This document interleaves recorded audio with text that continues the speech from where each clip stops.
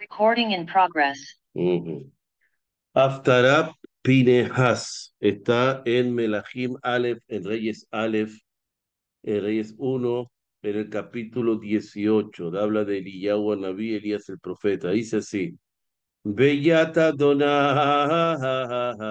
Hayeta el Eliyahu Vaishanem Motnav Vayarot Lifne Achav עד בואך יזרעאלה.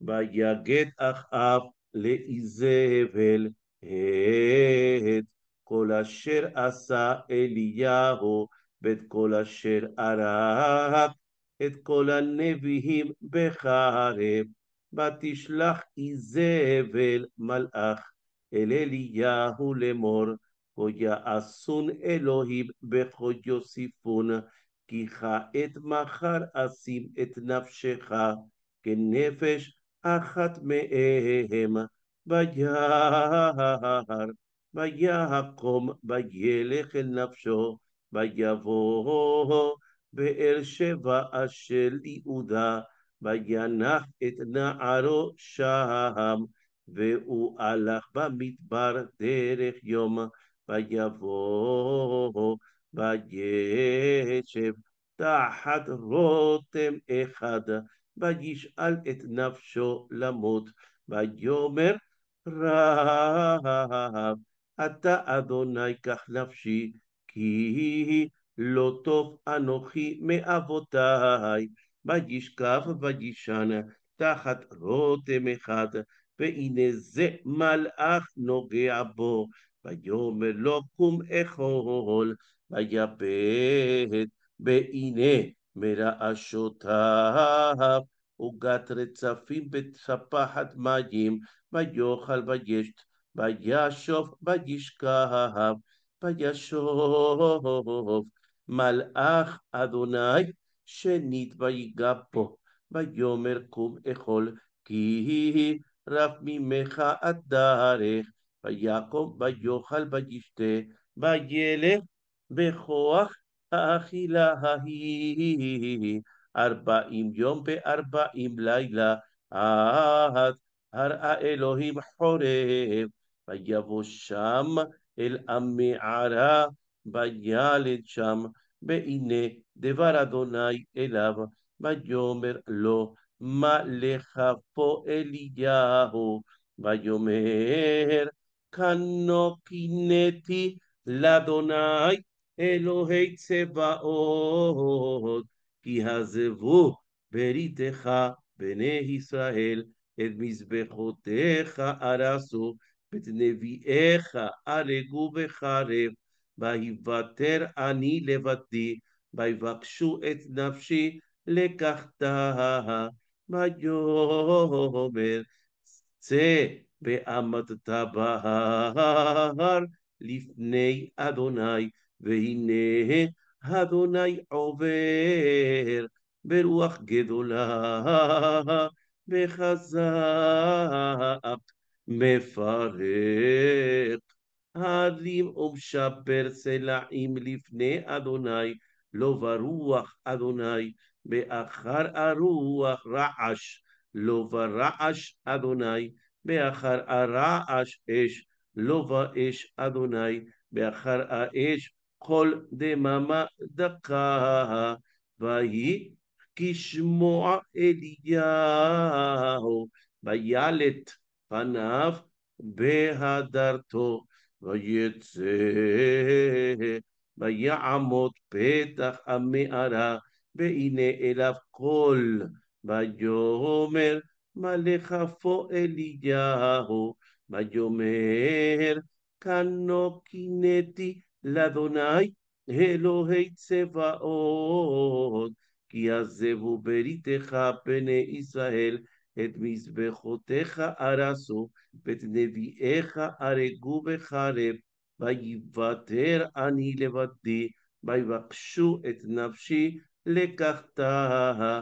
ויאמר אדוני אליו, לך שוב לדרכך מדבר דמשק, ובאת ומשכת את חזאל למלך על ארם ואת יהוא בן נמשי.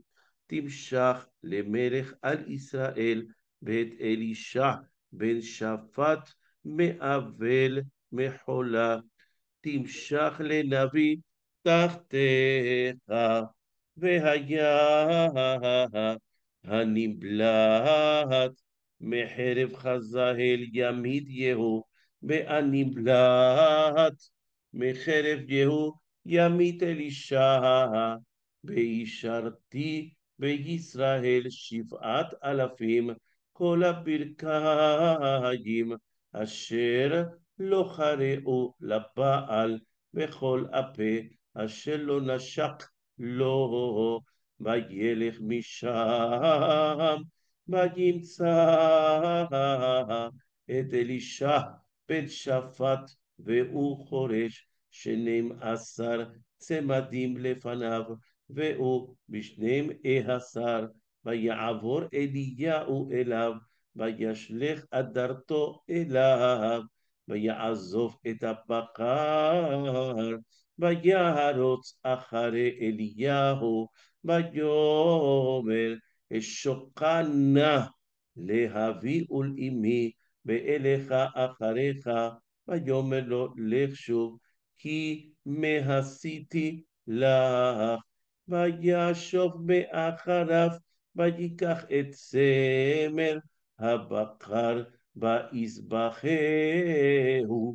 ובכלי הבקר בשלם הבשר וייתם לעם ויאכלו ויקום וילך אחרי אליהו וישרתהו.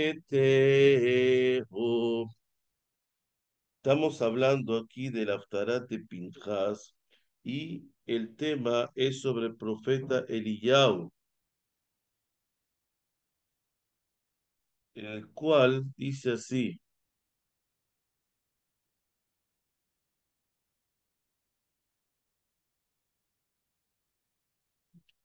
Dice, y el espíritu de la fuerza del Eterno vino sobre el profeta Eliyahu, el cual ciñó sus lomos y vino corriendo delante de Ahab hasta llegar a la edad de Israel. Se va a encontrar con el rey Ahab, el malvado rey, casado con Isabel, que mataron a la mayoría de los profetas de Israel y había orden de captura y matanza también contra Eliyahu el profeta y cualquier seguidor de él.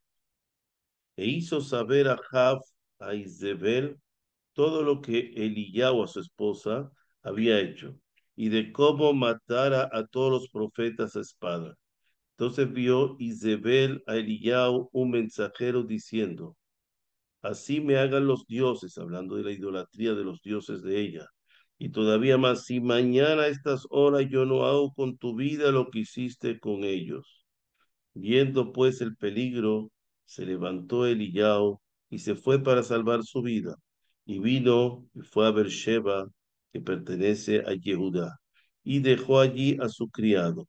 Y él fue por el desierto camino de un día, y vino y se sentó debajo de un enebro, y pidió para sí la muerte y dijo, basta ya, oh eterno, toma ahora mi alma, porque yo soy mejor, porque yo no soy mejor que mis padres. Y se echó debajo del enebro, se quedó dormido, aquí luego que un ángel le tocó y le dijo, levántate come. Entonces él miró y aquí su cabecera una torta cocida sobre las brasas, una botija de agua, era de higos, una torta de higos y comió y bebió y se volvió a dormir. Y volvió el ángel del Eterno por segunda vez y le tocó y le dijo, levántate, come, porque el viaje es demasiado largo para ti. Se levantó pues y comió y bebió y caminó con la fuerza de aquella comida cuarenta días y cuarenta noches, hasta el monte de Dios, el monte de Joreb. Y entró allí en una nueva cueva, donde pasó la noche. Y aquí que le vino la palabra del Eterno y le dijo, ¿qué haces aquí, Eliyahu?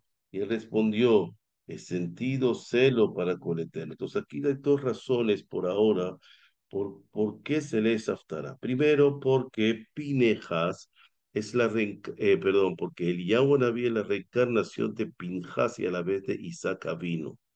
Isaac vino. Y por eso una persona celosa de Dios, una persona disciplinada y una persona de rigor. Y también aquí tiene que le da un pacto que va hacia la montaña de Joreb, misma montaña donde fue sacrificado Isaac, donde fue amarrado, pero no sacrificado, perdón y la misma montaña donde recibieron la Torah y tuvo, y tuvo su, eh, su antecesor Pinehas, también celoso de esa Torah y luchó para que se cumpliera y el pueblo de, salvó al pueblo de Israel. Entonces, entonces que dice, sentido celo para con el Eterno es lo mismo que sintió Pinejas y lo mismo que sintió Isaac cuando le dice a su papá, amarrame duro, no vaya a ser que el sacrificio salga, defectuoso. Dice, he sentido celos de Dios, de todas, de todas las criaturas, porque los hijos de Israel han dejado tu pacto, la Torah, han derribado tus altares y han matado espada a tus profetas, y yo solo he quedado, y me buscan para matarme. Y él dijo, sal fuera y ponte en el monte delante del Eterno. Y aquí, aquí el Eterno pasaba y delante de él un grande y fuerte ejército de ángeles de viento. Es una analogía donde Dios le dio el pacto de shalom, pacto de completitud a Pinehas. Y también cuando Isaac vino fue amarrado, él vio la presencia divina quedó ciego. Por eso dice, y tras el viento vino un ejército de ángeles del terremoto mas el Eterno no estaba en el ejército de ángeles del terremoto. Pero al terremoto vino un ejército de ángeles del fuego, mas el Eterno no estaba en el ejército de los ángeles del fuego. Tras el fuego vino una voz suave de los que lo aban al Eterno. Y cuando los oyó Eliao, envolvió su rostro con su mano y salió y se paró a la entrada de la cueva. Aquí que llegó una voz a él diciendo, ¿qué haces aquí? Y él respondió, he sentido celo para con el eterno Dios de todos los ejércitos, todas las criaturas, porque los hijos de Israel han dejado tu alianza, han derribado tus altares y han matado a espada a sus profetas. Y yo solo he quedado y me buscas para quitarme, y me buscan para quitarme la vida. Y le dijo el Eterno, ve, vuélvete por tu camino por el desierto de Damasco, y cuando llegues allí ungirás a Hazael por que sea rey de Siria, y a Jehú, hijo de Nimshi, va a ser rey de Israel y Elisha, hijo de Shafat, de, de Abel Mejolá, lo vas a ungir para que sea profeta, va a ser tu alumno, tu profeta después de tu muerte. Y será que el que escape de la espada de Hazael, Yehú lo matará, y el que escape de la espada de Yehú, Elisha, lo matará. Entonces aquí hace el pacto, como dice la parashá, y haré contigo, el, con un pacto de paz si de tú y tus generaciones van a ser Kohanim, van a ser sacerdotes, igual hacia aquí con el y no te preocupes porque tú y tus y tú y tus seguidores, tus alumnos que son como tu generación Elisha, de ahí va a salir también la descendencia que va a ayudar al pueblo de Israel. Y yo haré que queden solamente siete mil en Israel, todas las rodillas que no se doblaron ante Baal y todas las bocas que no lo besaron. Y partió de allí Eliyahu y halló a Elisha, hijo de Shafat, que estaba labrando con otros, cada uno con una yunta de bueyes, que, de todo doce yuntas, y pasando Elías frente a él, echó su manto en dirección a él. Tiene muchos secretos cabalísticos que no viene ahora al caso. Entonces, dejando él los bueyes, vino corriendo tras el, el, y le dijo, te ruego que me dejes besar a mi padre y a mi madre y luego te seguiré voy a despedirme de mi familia y luego te voy a seguir. Y él le dijo, ve y vuelve, pues podrás hacer milagros semejantes a los que yo hice. Y, al final Elisha hizo más milagros que Eliao. Y volvió Elisha para seguir a Eliao y tomó la yunta de bueyes y los inmoló y con el arado de los bueyes coció la carne de ellos y la, vio, y la dio al pueblo para que comiese. Después se levantó y fue tras Elías y él servía. Primero hay que dar una acá después destinarse a estudiar o a seguir al maestro. Siempre quedarse de acá primero. Baruch Hashem le olam. Amén. Amén.